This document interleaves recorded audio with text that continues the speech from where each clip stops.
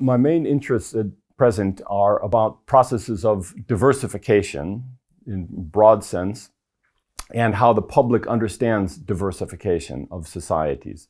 We're particularly interested in migration driven diversification. We recognize that societies are diversifying anyways in terms of things like more and more identities, lifestyles, and SINA, um, family formations, uh, political groups, reclusterings, and so forth. But um, my main concern right now is about migration driven diversification. Right now, across the world, we're seeing uh, a sea change in migration patterns. We're seeing more people from more places moving to more places. So that means more language diversity, religious diversity, ethnic diversity. People are moving under different migration channels and under more complex uh, legal statuses and so forth, different gender patterns and so forth. And all of these together, we talk about the, the rise of new conditions of super diversity, the way all of these sorts of variables fit together. We use a, a, number of different methods depending on the type of data that we're acquiring and trying to analyze. So on the largest scale, as it were, uh, we have access to, uh, to global data by way of the UN and World Bank uh, migration data. We have national data, for instance, direct connection with the, with the, Canadian government or the Australian government. And, and we can accumulate, as it were, big data on migration flows and diversity patterns at the national and uh, municipal levels. And those we subject to uh, sophisticated interactive data visualizations that allow us as analysts or members of the public for their own better understanding to be able to go in and move around variables and see how they play out in, in maps and all sorts of uh, cool graphics.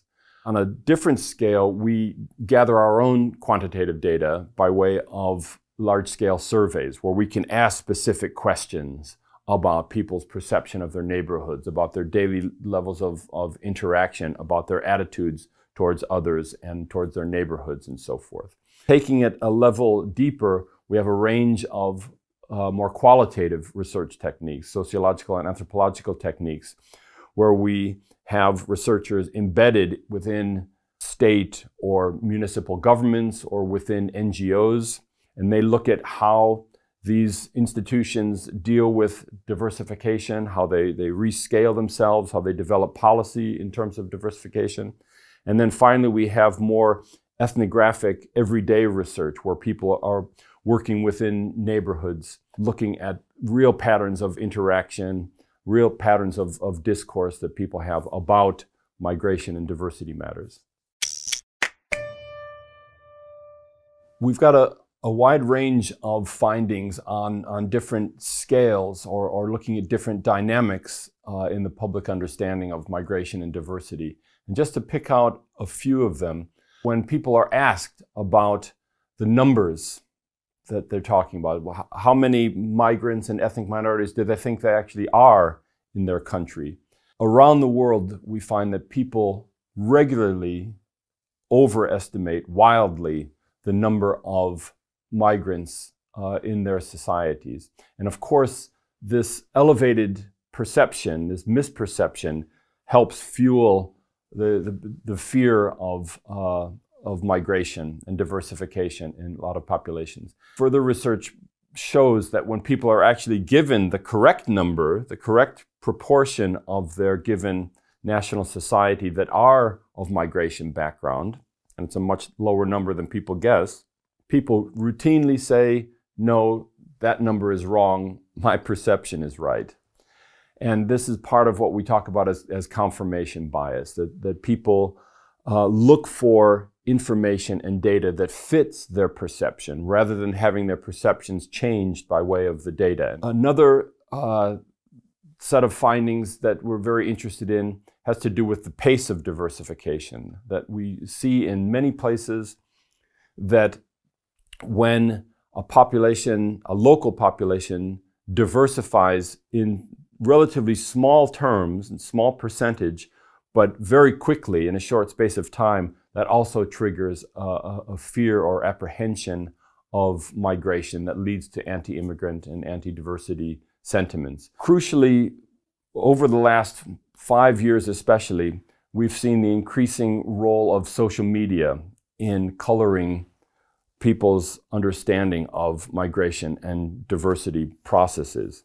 There have been major studies looking at half a million tweets, for instance, showing that when very emotional and moralistic language is used about migration and diversity in a negative way, this has a profound impact and the number of re retweets or the number of Facebook likes increases drastically. The more hostile people talk about migration and diversity, there's a, there's a kind of social psychological effect of exacerbating perceptions of threat, of conflict, uh, of negative consequences of migration and diversification. And this is happening throughout the social media sphere. We know that when under certain conditions that we can create, um, people who have positive, even brief interactions with someone of a different background, so let's say from a migration background of whatever kind, this leads towards more positive attitudes. And those attitudes can also get reflected onto people from other backgrounds as well. Contact really does work. We can prove this scientifically through all sorts of studies. Uh, one of our own studies uh, at our institute looked at daily interactions and their relation to attitudes in 50 neighborhoods in 16 German cities, and we found exactly that. High levels of weekly, if not daily, interaction, leading towards more positive attitudes towards others and more positive attitudes towards diversity generally. So, getting that message across and looking at circumstances and supporting public programs and NGOs that try to get people together for positive modes of contact certainly works. We know that in a conceptual framework that, that we use at our institute that looks at what we call configurations, representations, and encounters, ways of looking at how difference is socially organized in, in cities or, or nation states.